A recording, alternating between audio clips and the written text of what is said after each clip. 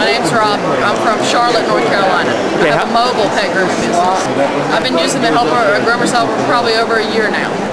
It I- I mean, I'm sure it has saved me a lot of time, and it has made it possible for me to groom dogs that I normally wouldn't be able to, just from the sheer frustration level. Uh, the dogs that constantly move away from me, um, or that spin on the table, um, they just it, it takes away a lot of the decision making that the dog has, and they just stand there. They just as soon as I clip it on, pull it up snug, they just sort of relax.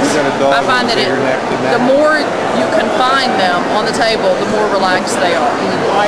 The product is keeping me in the industry longer, more than just about uh, making uh, money, and, and uh, it's it's about keeping my stress level low, my frustration level low, so that I'm able to be uh, great with the dogs and great with the customers, and not having to feel like I'm struggling and, and fighting with the dogs and chasing the dogs all the time.